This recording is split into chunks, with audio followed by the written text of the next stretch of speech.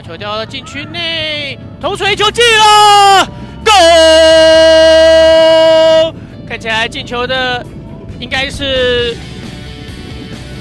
卓立平，卓立平是就读于台湾体大，那也是现役的中华女足的一个国脚，在这场比赛，结果是一开始首开纪录，在开赛的。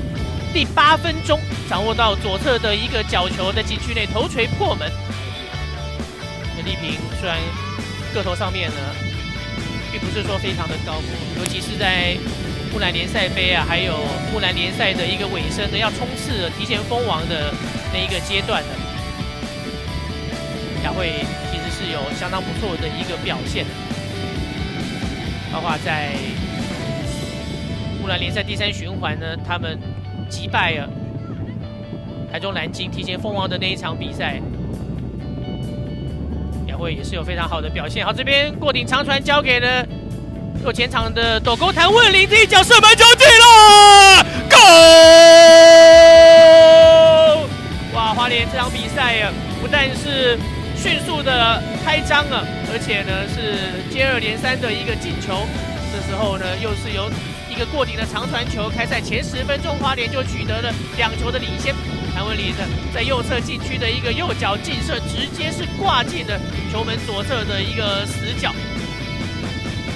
开赛以来，可是死球的攻击，看一下这一个重播，这一个斜传球，谭文林看到防守球员还没有跟上来的情况之下，直接就来做了过。国际今天也都是非常大胆的，把后防线往上推啊。不过在花莲这里，这几名啊快腿球员，现在谭伟来了，又球又进了，Go！斗沟非常迅速，在这一场比赛也梅开二度，看起来有机会来挑战呢他的一个帽子戏法。哇！可以看到在国际今天呢，在整个后防线往前推啊，造越位陷阱的一个情况之下，就留给了。对手有很大的背后空间可以运用了，那尤其是桃园，呃，在花莲阵中有这几名的锋线速度非常快的快腿来说的话，雅慧甚至是优于卓立平啊。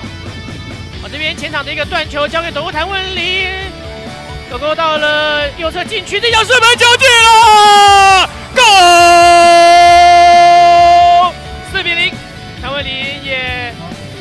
这个赛季木兰联赛第一位上演帽子戏法的球员。上个赛季他的队友吴世平啊，全季十九个进球，包括了三次的一个帽子戏法呢。谭文林上个赛季十个进球，但是呢，并没有单场进过三球。今天在开季第二场球，他就是缔造了个人的这一项纪录，在右侧的禁区呢，这一脚射门打球门右上。上个赛季他其实多半都是中场的时候才上场的情况。哇，好球！就地反抢，把这球给抢回来，这里有个射门机会。哇！宋赛，哇，终于取得进球了。上半场十六分钟左右啊，在十七分钟的情况下，松赛先帮助台中蓝鲸取得一球领先。哇，不过这个球啊，阿包的功劳至少要占五成。在前场的这个逼抢上面抢回这一球之后啊，送到禁区内，松塞直接拿到球之后，当仁不让，直接起右脚，直接拿这个射门啊，给他停球之后啊，那你看到这个位置来讲，其实是非常舒服的。杨鑫这边下铲的这个情况下，以为一开始是要交给赖立起来，现在他给他先，哇，还有个射门机会，这个应该没有问题了。这一次如果再中门两，可就有点倒霉了。不过又是侯方伟啊！哇，可以笑了，可以笑了。不用演练，呃，不用不用不用把脸遮住啊，让全国的观众可以看到你的脸啊。洪方伟啊，这一球接获到赖立行的一个底线传中的机会啊，这绝对是他给这个李教练最好的回报哈。因为上一场比赛其实李宇勋踢得很好，我觉得就这样比赛为什么没有用？换上后方我，一定当然有有教练的考量。